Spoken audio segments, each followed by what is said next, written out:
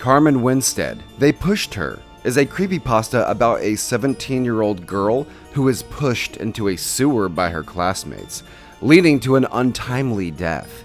It was shared through Facebook, MySpace, and email chain letters in 2006, and the urban legend has recently seen a resurgence in popularity thanks to a new TikTok sound. An original sound reading the Carmen Winstead copy pasta from Winstead's perspective was posted to TikTok on February 9th, 2022.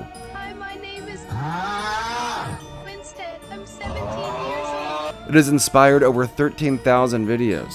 Many of these are ironic meme compilations that resemble the style of the first one. Various posts use the sound and the green screen effect to make fun of McDonald's social media accounts, which has made uh their bio on official Instagram and Twitter pages.